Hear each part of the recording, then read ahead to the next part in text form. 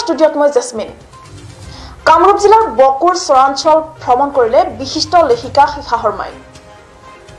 বকুৰ চৰাঞ্চল পৰিভ্ৰমণ কৰি বকুৰ বদলাপথাৰ বজাৰত ৰাইজৰ লগত মত বিনিময় কৰিলে বিশিষ্ট লেখিকা শিখা শৰ্মাই।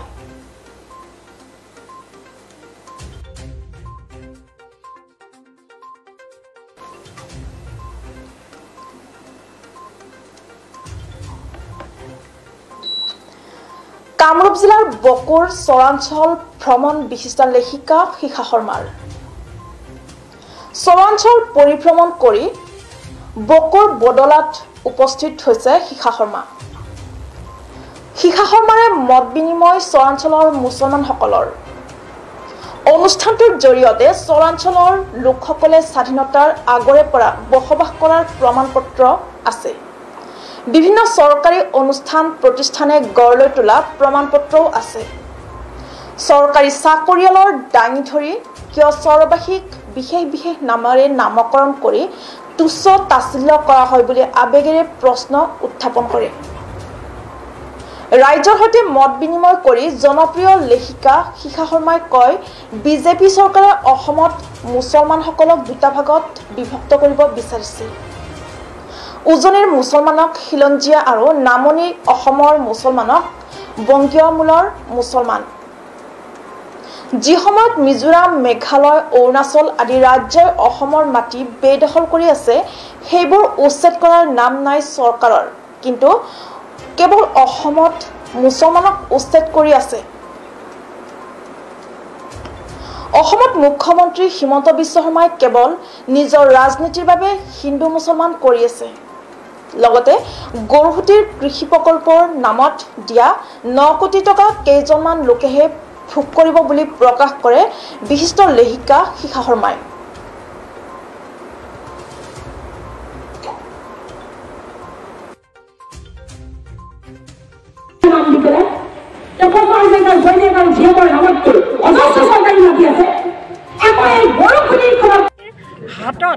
ঊনৈছশ দহ বাৰ এঘাৰ চনৰ পৰা কাগজ আছে।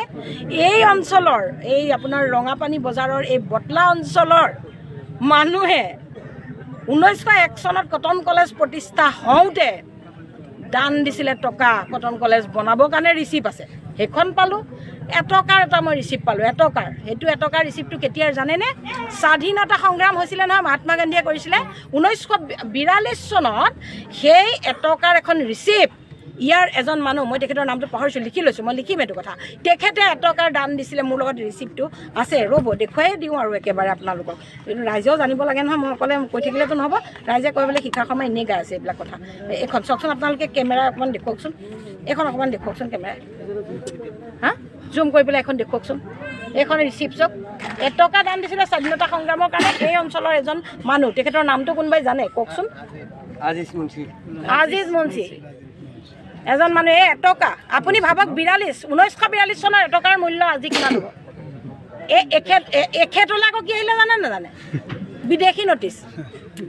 এখেত বোলে হেনো বাংলাদেশী বুলি এখেতলৈ মানে এখেতৰ ককাকে কৰিছিলে এইটো কাম এখেতলৈ নটিচ আহিলে। তাতকৈও দুখৰ কথা মই এজন আৰু মানুহ পাইছিলোঁ এইখি- এইখিনিতে ক'ত গ'ল? তেখেতৰ দেউতাকে কটন কলেজৰ কাৰণে দান দিছিলে। অঁ এখেত এখেত এখেত আপোনালোকে দেখুৱাওক এখেত অকল শিখা শৰ্মাক দেখুৱাই নাথাকিব। এখেতক আপুনি অকণমান দুষাৰ কওকচোন এখেতক দুষাৰ ক'বলৈ দিয়ক। তেখেতৰ দেউতাকে দান দিছিলে কটন কলেজৰ কাৰণে। কটন কলেজ প্ৰতিষ্ঠা কৰিবৰ কাৰণে টকা দান দিছিলে। আৰু তেখেতৰ দেউতাকলে সেইদিনাখন এ, হেৰি আহিলে বোলে আপুনি বিদেশী আপুনি ইয়াৰ পৰা গুচি যাব লাগে। এখেতৰ দেউতাক বিদেশী বুলি ক'লে। আমি মানিম নেকি এইটো কথা? কেতিয়াও নামানো। দৰকাৰ হ'লে শিখা শৰ্মা এবাৰ শ্বহীদ হ'ব প্ৰয়োজন হ'লে এবাৰ শিখা শৰ্মা শ্বহীদ হ'ব কিন্তু নাজানো এতিয়া বিৰোধী দলবিলাক গোটেইখন দেখোন এতিয়া সনা পতকা হৈছে। এতিয়াতো গোটেইখন সনা পতকা হৈছে। গতিকে মই বেলেগ ৰাজনৈতিক দলবিলাকৰ কথা নাজানো। কাৰণ মই মই নিজে বিৰোধ কৰি যাম। মই নিজে বিৰোধ কৰি যাম। গতিকে বিৰোধী দলৰ কি ভূমিকা ৰাইজে দেখি আছে? বিৰোধী দলে এইবিলাক ক্ষেত্ৰত উচিত পদক্ষেপ ল'ব লাগিছিলে। অলপ তেওঁলোকে বিৰোধ কৰিব লাগিছিলে গণতান্ত্ৰিক প্ৰতিবাদ কৰিব লাগিছিলে। কিন্তু আমি এইটো ইমান দেখা নাই। ইমানটো দেখা নাই। এদিনটো ক'ৰবাত চিঞৰি পেলাই চাৰ্টটো খুলি দিলে এইটো নহ'ব। স্বাৰ্থ খুলি মোক গুলি কৰক মোক গুলি কৰক ক'লে এইটো নহ'ব। গতিকে এটা তেওঁলোকে এটা প্ৰতিবাদী তেওঁলোকে গণতান্ত্ৰিক প্ৰতিবাদ এটা কণ্টিনিউৱাছ কৰি যাব লাগিছিলে মূল্য বৃদ্ধিৰ বিপৰীতে। ছাত্ৰ সংগঠন আছে। এনেইটো আপোনাৰ ধৰক এতিয়া সেইদিনাখন চেয়াৰমান আলী চেয়াৰমান আলীক যে ক'লে যে চেয়াৰমান আলীয়ে যে ক'লে শ্বহীদক অপমান কৰিলে এতিয়াতো ছাত্ৰ সন্থাইটো গোটেই জুই চুই জ্বলাই আছোৱে হুলস্থুল কৰি দিলে। এতিয়া চেয়াৰমান আলীৰ লগত লাগিব লাগিছিল নে? চেয়াৰমান আলীৰ লগত লাগক। ঠিকে কৈছে চেয়াৰমান আলীক জেলত ভৰাইছে এইটো বেলেগ কথা। কিন্তু মূল্য বৃদ্ধিৰ কথাটোত আছুৱে কেলে নামাতে? মাতে। এদিন মাতে জুমুঠি এটা জ্বলাই পেলাই থৈ দিয়ে।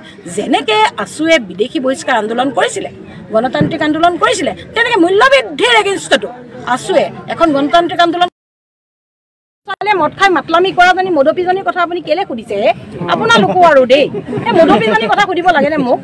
মদপীজনীয়ে মানুহ এক্সিডেণ্ট কৰিছে। মোক আপুনি সেই দুখ পোৱা মানুহকেইজনৰ কথা সোধক যিকেইজন মানুহ আজি দুখন ভৰি হেৰুৱাইছে সেই মানুহজনক চৰকাৰে ক্ষতিপূৰণ দিয়ক। কাৰণ চৰকাৰৰ ৰাস্তা বনাবলৈ গৈছিলে। পিছদিনাখন উপ ৰাষ্ট্ৰপতি আহিব। চৰকাৰে ৰাস্তা বনাবলৈ গৈছিলে। চৰকাৰৰ কোনো ৰুল নাই কেলে? মদপী এজনীয়ে বিভান্তা তাজৰ পৰা ৰুক্মিণী গাঁৱলৈ আহোঁতে বাটত পুলিচে নধৰিলে কেলে? শিখা শৰ্মা গাড়ী ওলাবই নোৱাৰে পুলিচে ডিকি পৰ্যন্ত চেক কৰে। শিখা শৰ্মা ওলাব নোৱাৰে গাড়ী? শিখা শৰ্মা গাড়ী ওলাব নোৱাৰে। পুলিচে ডিকি পৰ্যন্ত চেক কৰিব। কি আছে চাওঁ? ডিকিটো খোলকচোন আপোনাৰ বেগত কি আছে চাওঁ? খোলকচোন মই চব ৰোড টেক্স দিয়া আছে। ইঞ্চুৰেঞ্চ কৰা আছে। মোৰ গাড়ীত একদম দুখন গাড়ী চব ৰেডি কিন্তু শিখা শৰ্মা গাড়ী ছয় মাইললৈ ওলালেও বাটত তিনিবাৰ চেক কৰে। অহ ৰ'বচোন বাইদেউ। এই ডিকিটো খোলকচোন বুজিলে?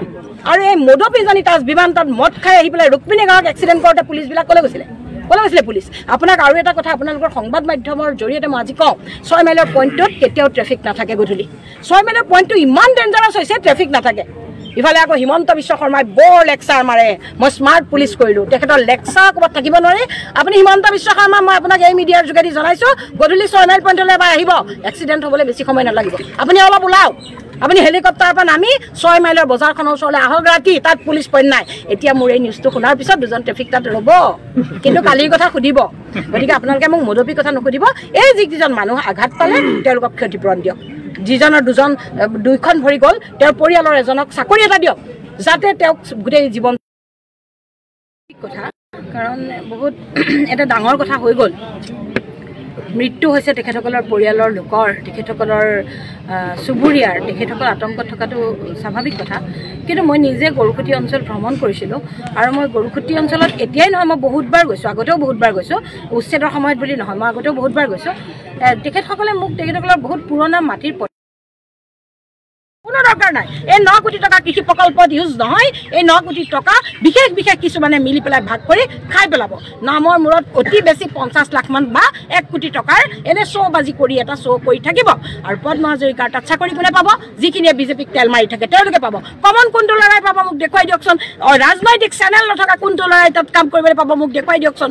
কন্যাকাত এতিয়া কোনে চাকৰি কৰিছে? কন্যাকাত যিখিনি মানুহ ল'ৰাই কাম কৰি আছে তেওঁলোক চব বিজেপিৰ ল'ৰা চব আৰ এছ এছৰ ল'ৰা। কোনটো কমন ল'ৰা কোনটো ৰাজনৈতিক লিংক নথকা কোনটো ল'ৰাই কন্যাকাত কাম কৰি আছে যদি কাম কৰিবলৈ হয় তেওঁলোকে কিন্তু বিজেপিত জইন কৰিব লাগিব চৰ্ত আছে। গতিকে গৰুখুটিৰ কোনো ধৰণৰ তাত প্ৰকল্প পদ্ম হাজৰিকাই ক'ত কি প্ৰকল্প কৰি থাকে কৰি থকা গৰুখুটিৰ মানুহ উচ্ছেদ হ'ব নোৱাৰিব আমি আইনী যুঁজ দিম। আইনী যুঁজ ইতিমধ্যে আৰম্ভ হৈছে অনাগত দিনত মই সেই আইনী যুঁজত মই গৰুখুটিৰ মানুহৰ লগত